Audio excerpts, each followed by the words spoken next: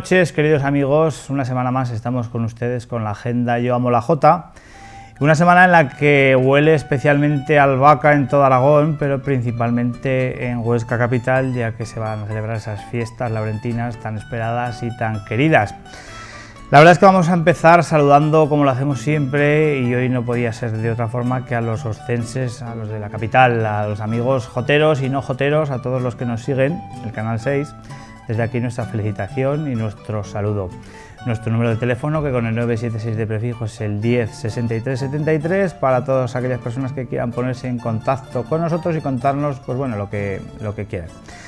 Vamos a empezar viendo a un grupo ostense, un grupo muy importante de Huesca, interpretando una de las jotas más características y que yo creo que todos los grupos folclóricos aragoneses la llevan en su repertorio. Es una creación de Zarita Villacampa y no puede ser otra que la Jota de San Lorenzo.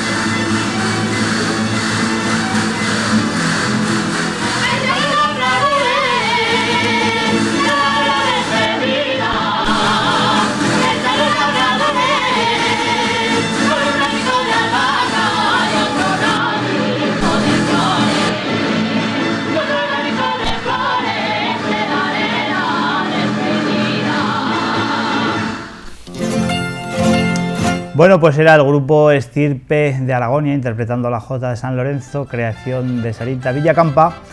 Y precisamente el grupo Estirpe de Aragonia pues va a actuar en el parque, como viene siendo habitual. Todos los grupos oscenses participarán en las fiestas.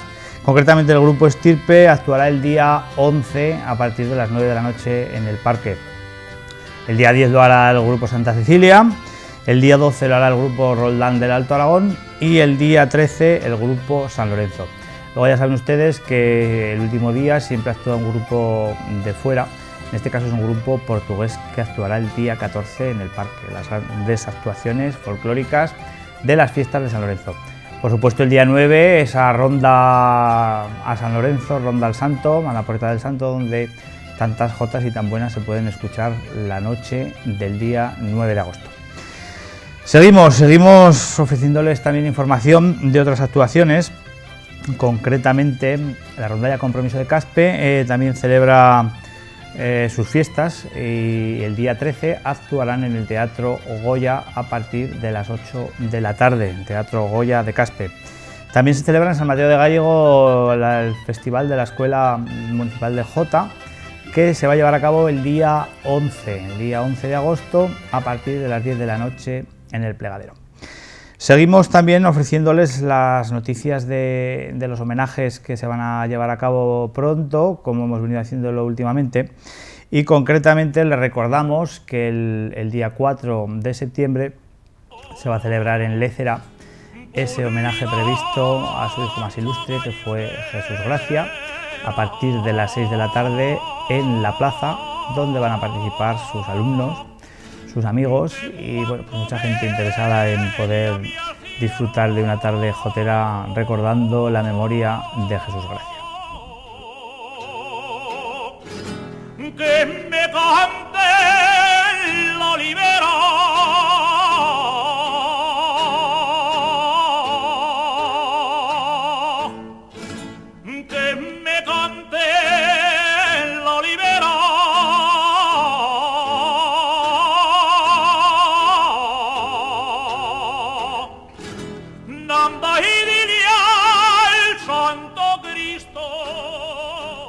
También está previsto celebrar otro homenaje el día 28, concretamente una semana antes, en Mainar, un homenaje a Marcelo Gaudioso, nuestro amigo el cartero desaparecido hace ya más de tres años. Eh, pues bueno, a las 6 de la tarde, a las seis y media concretamente, y en las piscinas, se va a celebrar ese gran homenaje en el que participarán muchos de sus amigos como anfitrión, el grupo el Grupo Alegría de Aragón dirigido por Javier Sanz y bueno, una gran lista, una extensa lista de participantes en ese homenaje a Marcelo Gaudioso, como digo, el día 28 de agosto en las piscinas municipales de Mainar. Y precisamente de, un homenaje, son las imágenes que vamos a ver a continuación, es la voz de una chavala que canta muy bien, una chavala ostense, hoy vamos a dedicar un poquito el tema Huesca, ya que yo creo que la fecha lo merece. Concretamente ella pertenece al grupo Roldán del Alto Aragón, ella es Jara San Agustín e interpreta una canción preciosa, original de nuestro amigo Ángel Jiménez, Una promesa de amor.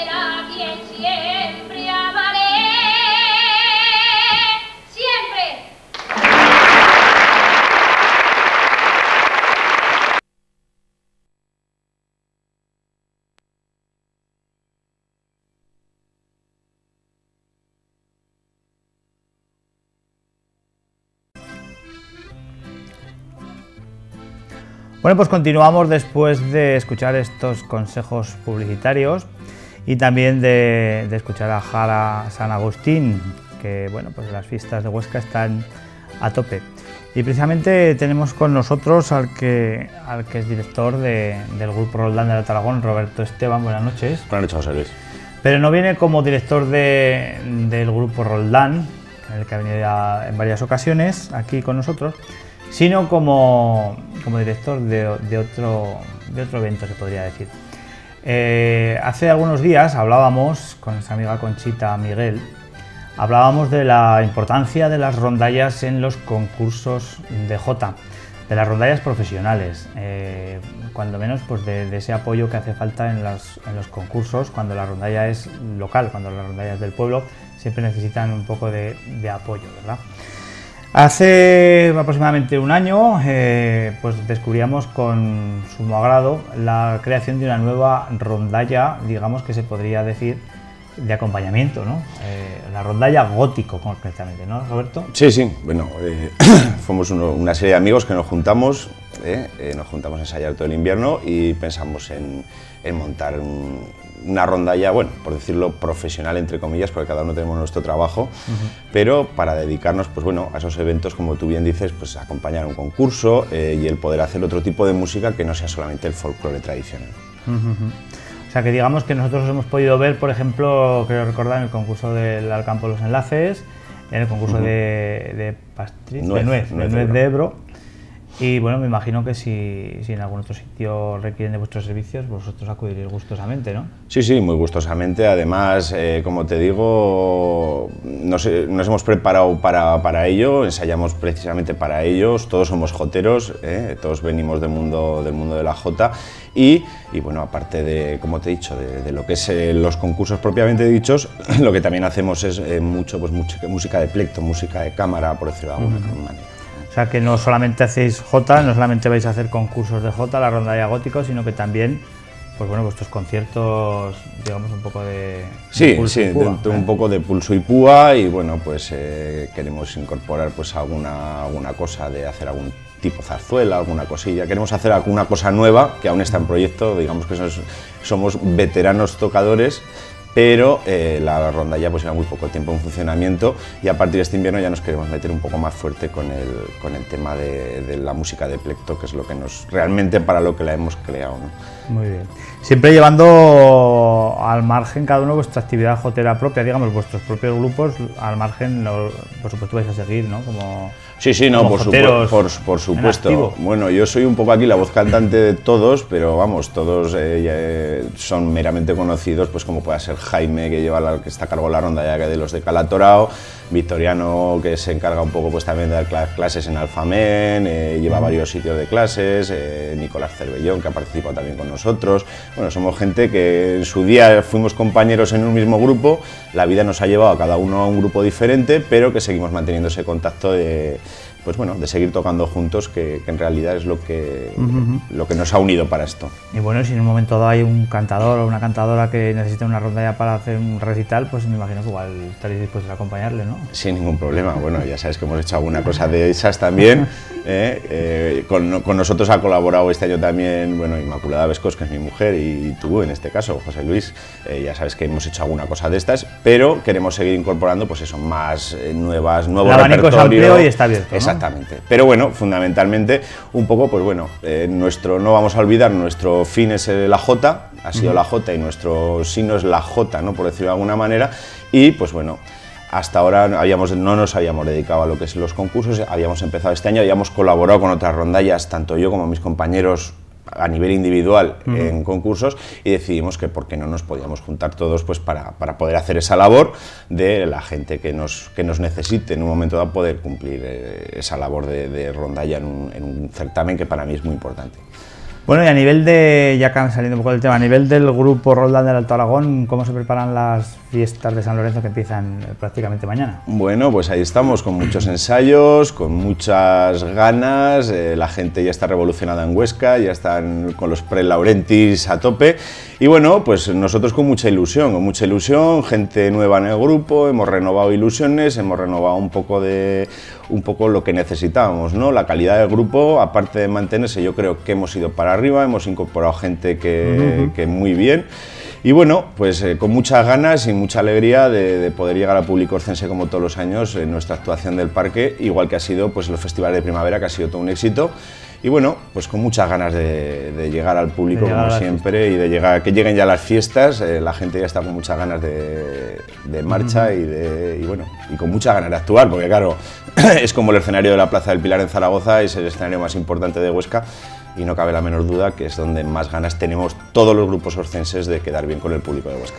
Muy bien, hay que decir una vez más que el Grupo Roldán actúa el día 12, ¿eh? a partir de las 9 de la noche, el día 11 lo hará Estirpe de Aragonia, el día 10 Santa Cecilia y el día 13 el Grupo San Lorenzo, el día 14 es ese grupo portugués que ahora mismo no me acuerdo del nombre, pero que seguro que son estupendos, como todos los grupos que participan en Huesca en las fiestas. Pues nos vamos a despedir Roberto, gracias por participar con nosotros en Canal 6, en la Agenda Llamo la J y nos vamos a despedir precisamente viendo al grupo Roldán del Alto Aragón en ese homenaje que se celebraba el día 1 de marzo del año 2001 a la memoria de otro gran oscense, gran coreógrafo y sobre todo gran amigo que fue Pedro Azorín.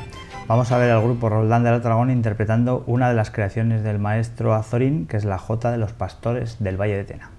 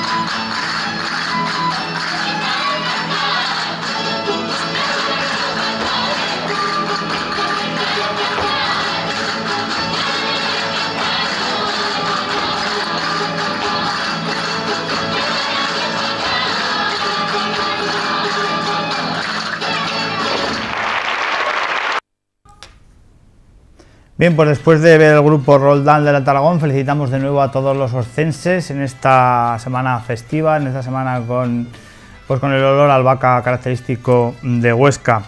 Y vamos a hacer un pequeño repaso rápido de los concursos. Recordar que el 27 y 28 de agosto se celebra la 32 edición del certamen Jotas del Ebro de Cenicero. Ya saben que es un certamen de Jota cantada de La Rioja, Navarra y Aragón. El 29 comienza el plazo de inscripción para el certamen oficial del Pilar del año 2005. Del día 29 al día 7 de septiembre es el plazo de inscripción. Ya saben ustedes que los días 10 y 11 son las pruebas y el 14 la de los infantiles. Y luego el 19 y el 20 las pruebas a puerta abierta en el teatro principal, las grandes finales, tanto el 8 como el 9. El 8 los aspirantes a infantil y juvenil y el 9 a premio ordinario y extraordinario de octubre siempre. Concurso de Pedrola 22 y 23 de octubre, el sábado 29 la gran final, La Codoñera, Teruel, un concurso que solamente es de canto, los días 16 y 23 y la gran final el día 30, ¿eh? son tres domingos de octubre. Villanueva de Sigena 29 y 30 de octubre y el 5 de noviembre la gran final. También está previsto ese concurso que organiza la Delegación Territorial de la ONCE, que es un concurso de canto alevín infantil y juvenil. Eh, la fase clasificatoria será el día 29 de octubre también y la gran final el día 12 de noviembre. Todavía está esto un poquito en el aire, pero vamos, creemos que será así. El Cachirulo, el Cachirulo Amigos de la Jota, una vez más organiza ese concurso durante el mes de noviembre, concretamente este año empieza el 30 de octubre. El 6 y el 13 de noviembre las tres finales y el 20 de noviembre, o sea, las tres clasificatorias y el 20 de noviembre la gran final en la nueva sede, eh, la Plaza de Santa Cruz, en el antiguo Café del Prior, que es la nueva sede del Cachirulo Amigos de la J de Zaragoza. El concurso de Utebo, eh, los días 12 y 13 de noviembre y el día 26 de noviembre, la gran final canto y baile, concretamente. El de Alblate de Finca no tenemos las fechas, pero según nos han comentado miembros del ayuntamiento, parece ser que andará por esos, por esos días, por los días del mes de noviembre también. Y por último, el concurso infantil de Alcampo Los Enlaces, que la fase clasificatoria será las fases, porque habrá dos, una por la mañana y otra por la tarde, el día 19 de noviembre, y la gran final el 2 de diciembre, sábado por la tarde. En fin, amigos, a los orcenses que lo pasen muy bien las fiestas, al resto también, porque hay muchas fiestas en, en nuestro territorio aragonés. Prueba de ello es que nuestra amiga Conchita Miguel, con el programa Aragones Fiestas, está recorriendo toda la región y además muchas veces se tiene que partir en dos y en tres para poder llegar a todos los sitios. Nos despedimos esperando que lo pasen muy bien. Recordarles que es muy posible que o la semana que viene o la siguiente tengamos en exclusiva a Miguel Ángel Berna con nosotros. Saludarles y les vamos a ofrecer para terminar un vídeo estupendo que nos hacía llegar nuestro amigo Javier Sanz hace pocos días. Es una actuación en el Corral de la Pacheca en Madrid y concretamente es eh, la voz de Imperio de Triana interpretando la Jota de mi balcón. Con ella nos despedimos, que lo pasen muy bien y hasta la semana que viene.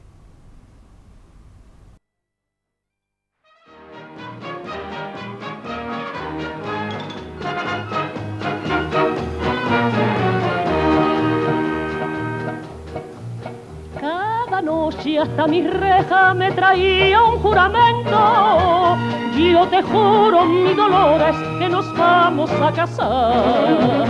Mas después que me dejaba, repetía el mismo cuento en la reja de Carmela y en la puerta de Pilar. Como yo por aquel hombre de cariño estaba loca, consejos que me dieron no lo quise ni atender porque luego ante mi llanto, con las mieles de su boca, me borraba aquellos pelos que me hacían padecer.